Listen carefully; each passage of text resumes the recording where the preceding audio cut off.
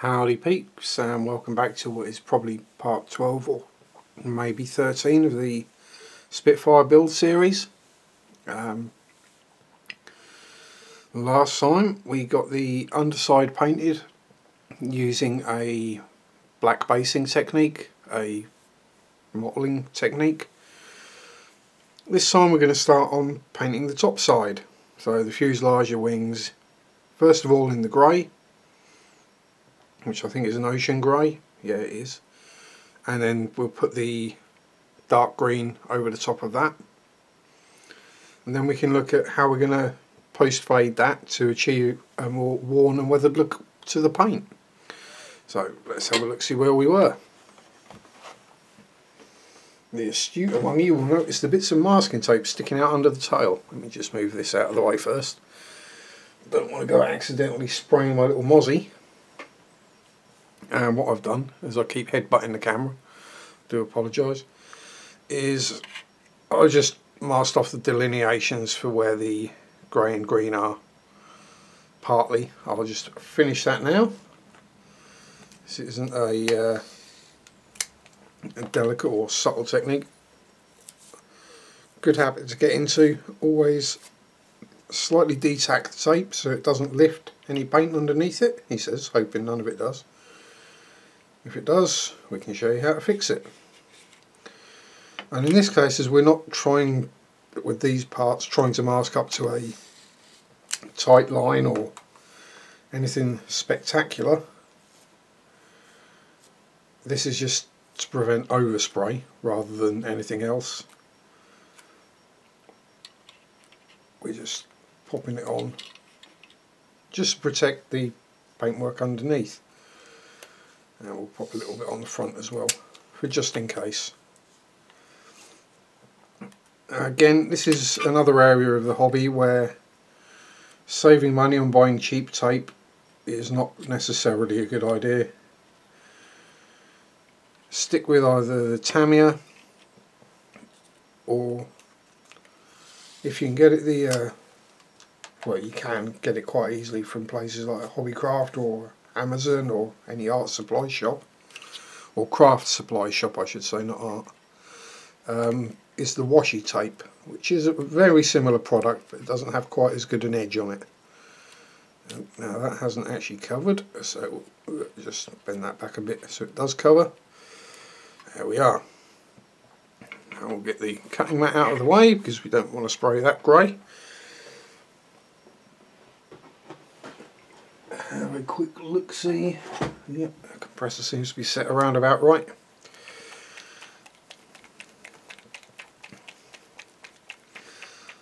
I had I was having a few issues when I was spraying the uh, mosquito the other day and then I realised I had the air compressor set at like 10 psi and I was trying to spray primer through it. Didn't really work too well as you can imagine. So again I'm just using the Model Air Ocean Grey straight into the airbrush. I have already checked it sprays. That should be enough. Eight or nine drops should cover that, maybe a couple more but we can always add more paint. And because we're not looking at doing any special spectacular techniques here, we are just trying to paint it. Just check we've got paint coming through and then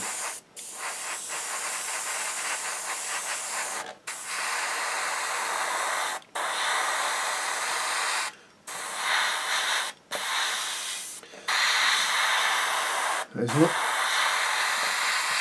there's not the need to mask the leading edges on this either because uh, they're going to be painted white at a later point. There goes the little Model T.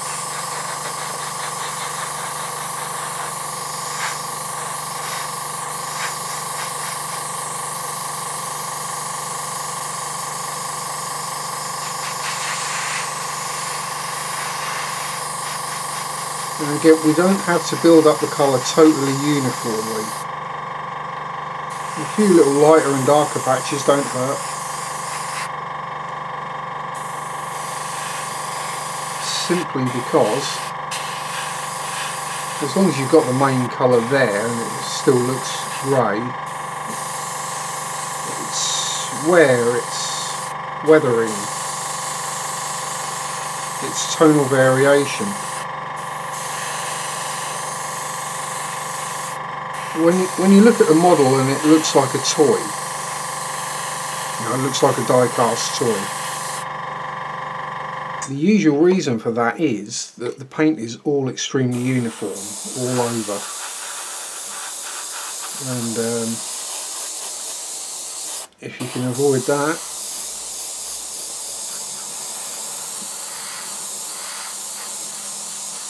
you uh, end up with better results.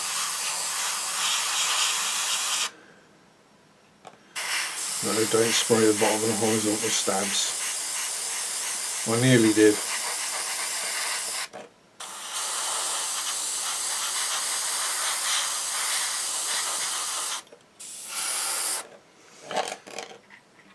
Judging by the way this is spraying, I may well have the air pressure set a little too low, but I know the green needs a... Well, it's not that it needs a lower air pressure, it's for some reason the green from this set is a bit more spider webbing coming out. far quicker than the grey does. Whether it just needs a damn good shake and stir up, I'm not sure, but that could well be the matter.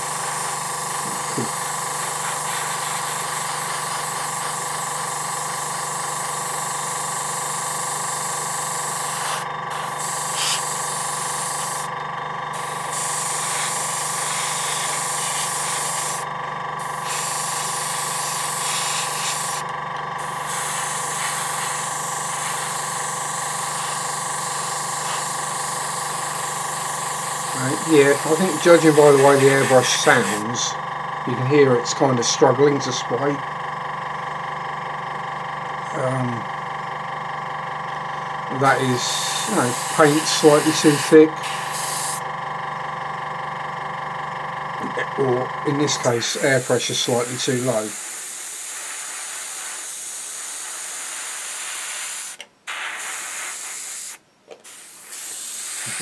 But Hi ho, we're nearly there, so we'll just leave it.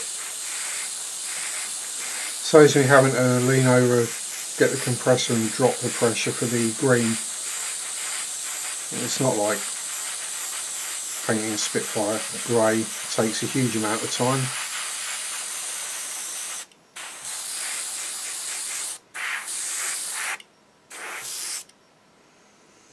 You chip got all around the nose.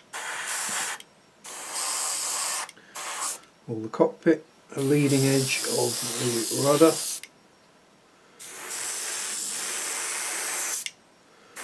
And the wings. And empty the rest of the paint out of the airbrush. I'll just uh, clean the needle off first because there's a bit of bit of build up on there does tend to happen with the model air paints is you will get the tip dry and build up of paint on the needle.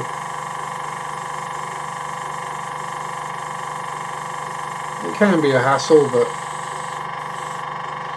it's not normally too bad. Especially this time of year when it's cold and wet. And not particularly pleasant out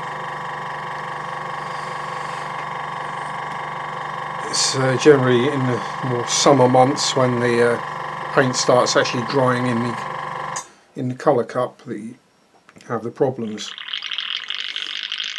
I had that one day last year I was trying to prime something or prime it, paint it, I can't remember what it was. Can't even remember which model it was, all I can remember is the paint was actually drying inside the colour cup which made life a bit awkward to say the least. So just giving the airbrush a quick flush through, a bit of water, and that's clear. Bit of airbrush cleaner, just a little bit. We don't need a full strip down and clean every time we use it. Certainly not just for colour changes, otherwise you'd be here all day. Make sure we get out of the nozzle. And as you can hear that's spraying a whole lot easier. So I'll just clear that out.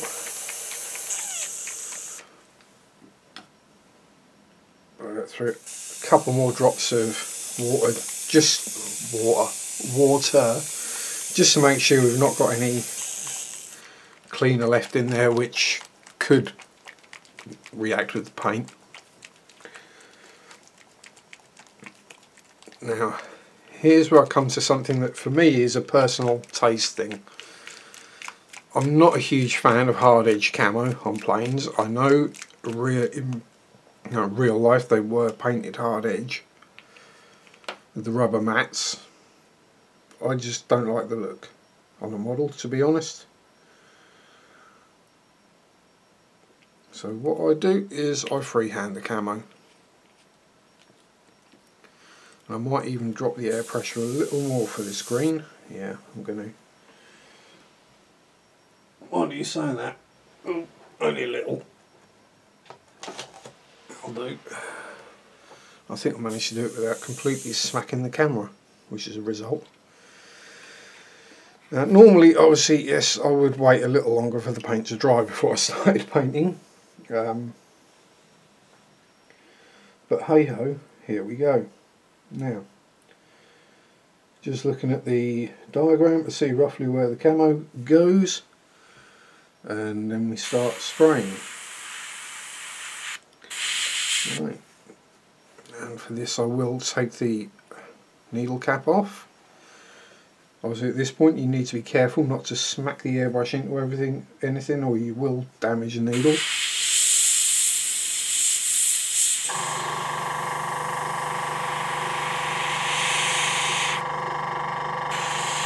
start with an outline and then we build up the green inside the outline.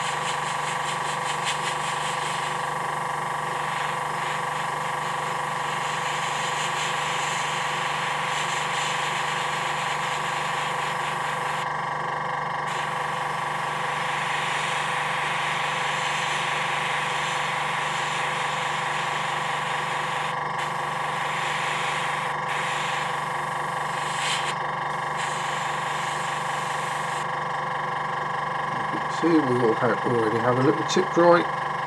Sorted. And the next section of green starts about there. Comes in goes down that line then up across like so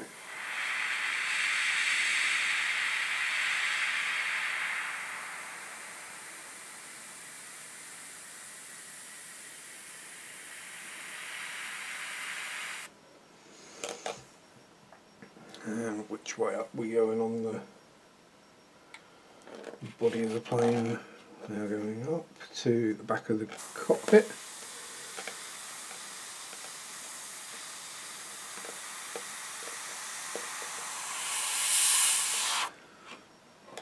And again just start filling in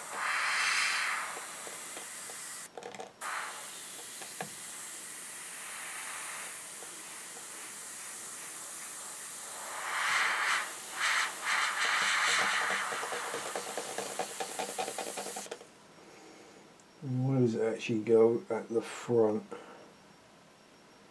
it goes from to avoid random scraping noises is the airbrush cable along the edge of the paper on the top of the bench. If you're wondering what that was as you were hearing it.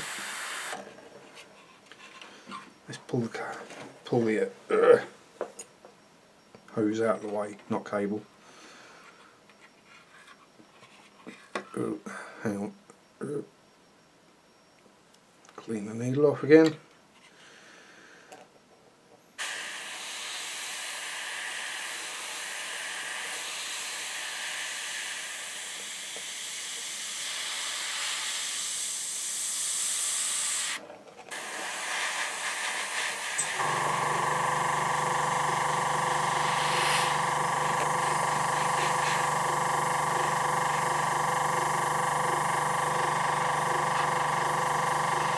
that I'm doing this, this is just practice.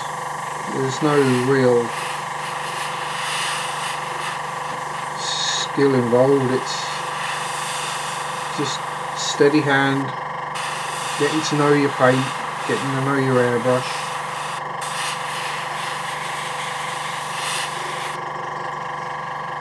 Knowing your tools is one of the most important things, if I think. Um, if you know how a tool is going to react, if you know how a paint is going to react, it makes your life a lot easier.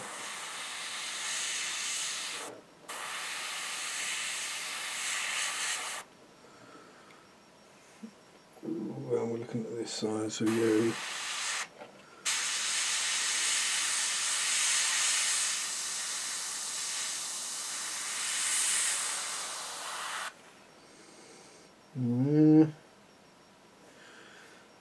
Come on to the top of the wing? It does just at the back. Right.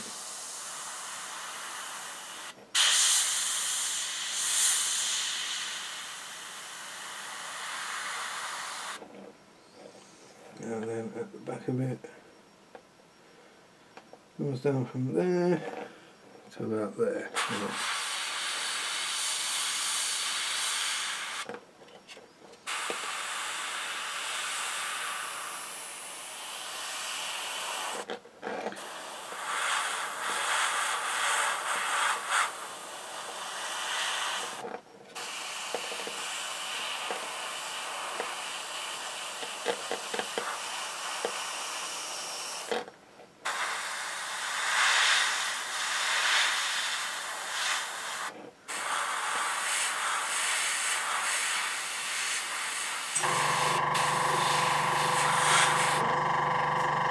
Right, you can see here just how little I am actually pu pulling the airbrush needle back.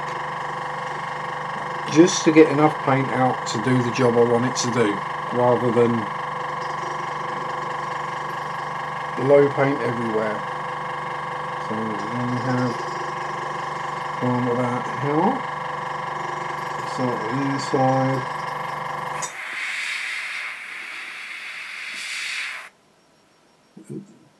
How in trouble the actual uh, oh, airbrush cup hitting the propeller.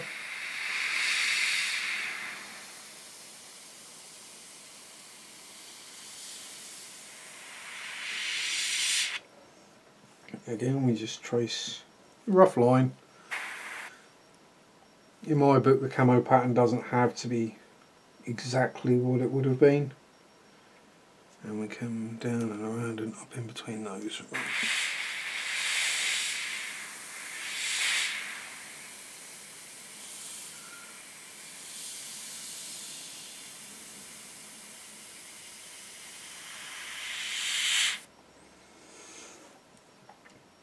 Then from about there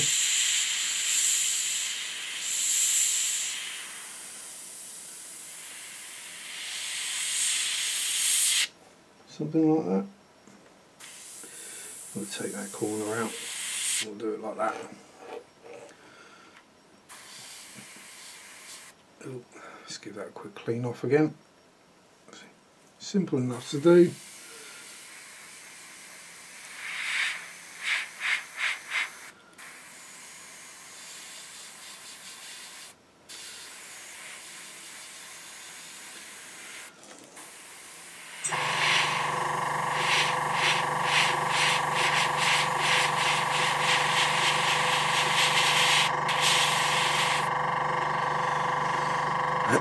Now you might be able to see there where I've held the airbrush in the same place for a little too long.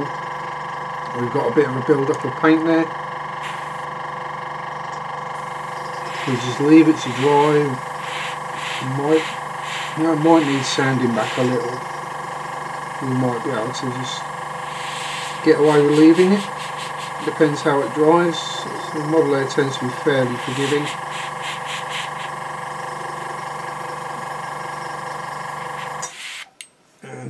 Splatter the end of the wing as well.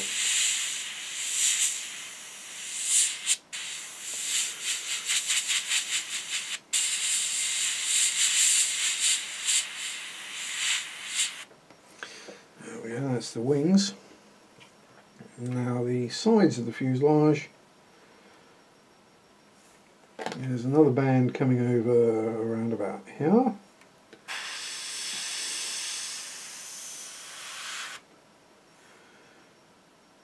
It's just in front of the tile.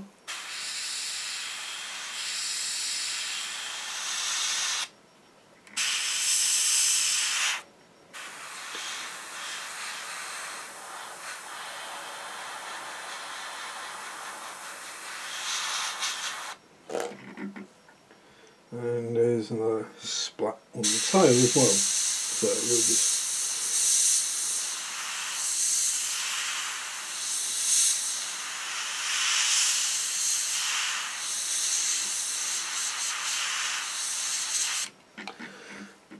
get filled in. And it's going to be that tail plane goes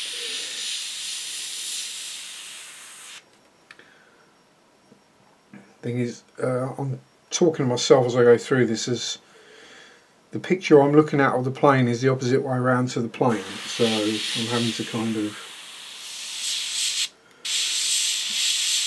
make things, figure things out, make sure I get it the right, right way around.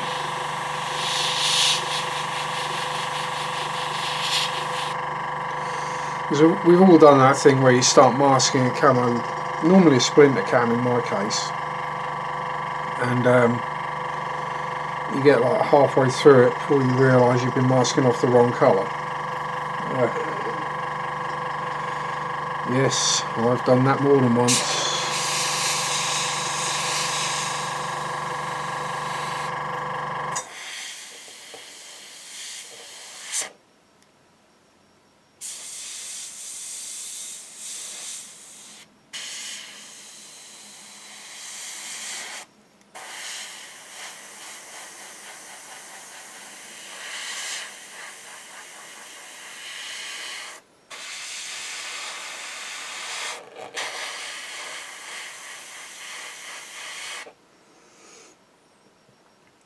Uh, simply because of the more haphazard approach I've been taking with the green and also because of the way this paint sprays it's not necessarily going to be the best coat. But what I can do is go over it again give it another little light coat that's not a problem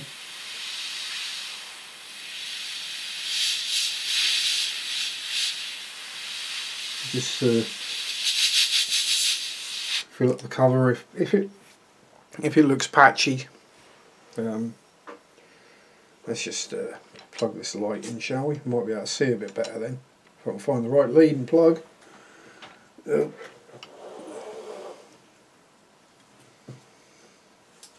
oh, oh.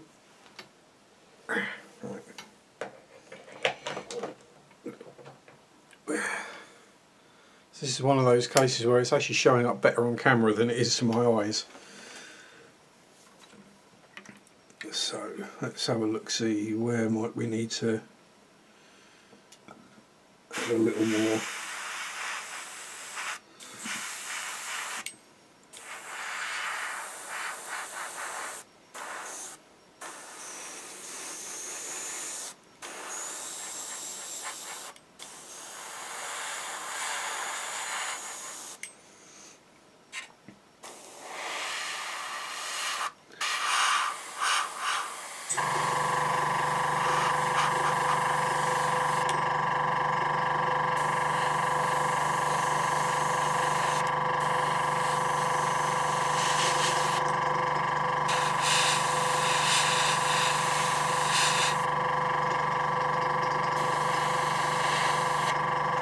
as I said, painting like this,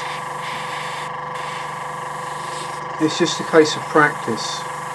Um, as I, well, this is actually the same day I just filmed it, but the videos will be going up quite a distance apart. The um, paint mule. Grab yourself one.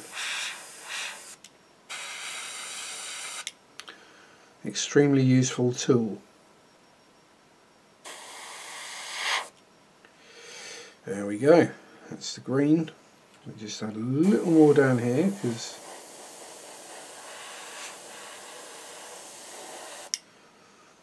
it's not looking particularly great.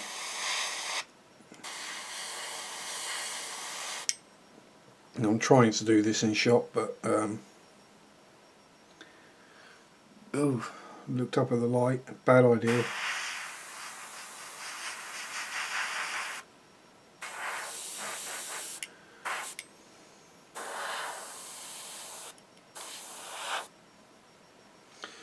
Right, there we go. And if you're doing anything with the colour, the uh, needle cap off, make sure to screw it back on before you go to clean your airbrush. Because stabbing yourself in the needle, in the thumb or the finger, if you go to back flush, that should be all the paint out now. There we go. Because if you go like that to backflush it and you haven't put the needle cap on, you're just going to stab yourself in the thumb. Uh, and trust me, that's not a pleasant experience. Especially if you've been spraying a, lacquer type paint, then you're putting lacquer thinner directly in. And that really stings. There's also the possibility that you could end up tattooing yourself. Oh, oh, there we go. I've got all my cables and I've got the light cable running across my legs and the uh, airbrush hose is coming up between my legs and they're getting tangled up at the moment so things are getting a little awkward but hey ho we shall soldier on and we just finished cleaning this out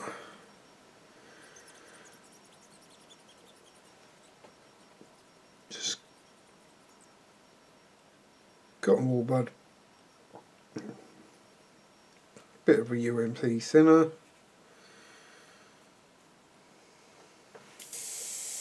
Oh, cleaner, sorry. And in the next section I will be applying the post fade to the top of the plane so we can build up a tonal bit of bit of a similarity to the underside or tonal variance just to pick out different panels and areas just to make things darker and lighter. Make it look less like a die-cast toy. Anyway I hope you like what you've seen hope I've been at least semi-entertaining. I'll turn that light off for a blind myself again. And enjoy your modelling as always. Have fun yeah have fun. Peace out. Rock on. Bye bye